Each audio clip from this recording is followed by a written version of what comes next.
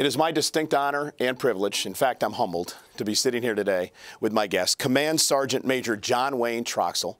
He is the most senior non commissioned officer in the United States Armed Forces, and he reports directly to the Chairman of the Joint Chiefs of Staff and the Secretary of Defense. Welcome to the 14th annual Tribute to the Troops. Thank you, sir. It's truly an honor for me to be here today. Um, we were talking before about uh, the fact that WWE has visited the, uh, the troops overseas for a number of years. But the, the, past few years, we've actually done tribute to the troops on our bases here in the United States.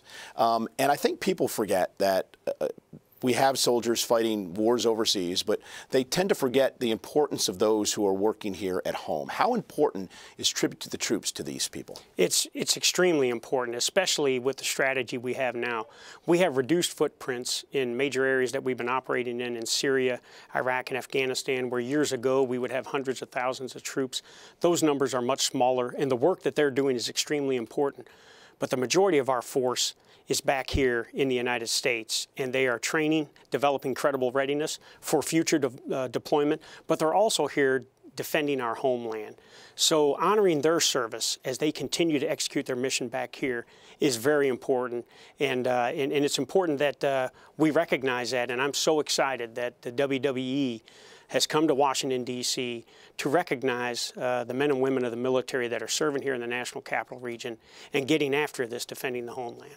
This is the first year that, that Tribute to the Troops has actually entertained all five branches of the United States Armed Forces at the same time.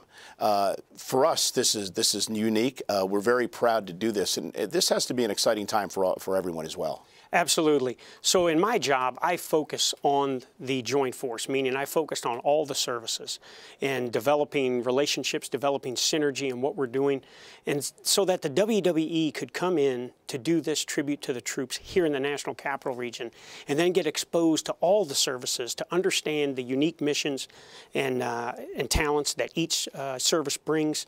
But more importantly, how we work together is huge. Uh, and, and I was out at uh, Anacostia Bolling today at the Coast Guard station where there were some WWE superstars interacting with our Coast Guard members and just seeing uh, how they, the appreciation they had for the military and what they do. And the takeaway from all of this is that the WWE will understand writ large what the Department of Defense and Department of Homeland Security does because of seeing all five branches of the military. So tell me about what you did today with uh, Rhino and Heath Slater, the former uh, tag team champions on SmackDown Live. Yes. Well, first and foremost, they wanted me to let everybody know, and especially you, that they are the greatest tag team in the WWE.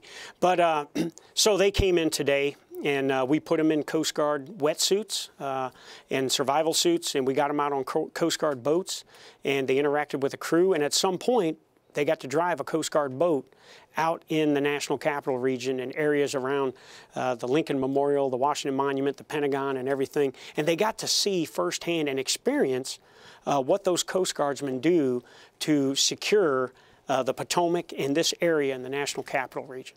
Uh, would you be a, a, tag team wrestler or would you be uh, an individual uh, champion? Well, since uh, I've been in the military 34 years and I've relied on teammates everywhere I've been in Iraq, Afghanistan, Korea, wherever I've been, I would definitely be a tag team person. And I would probably be a guy that would be a six man tag team kind of event. With Rhino and Slater. With Rhino and Slater, absolutely, yeah. Uh, let's talk about you for a moment, though. Yes. Five combat tours. Yes, sir. Uh, Panama, yes, sir. Uh, Iraq, yes, sir. and Afghanistan. Yes, sir. Uh, you're a true American hero. Uh, I, am uh, just a, a, person that joined the military and at 18 served for 34 years.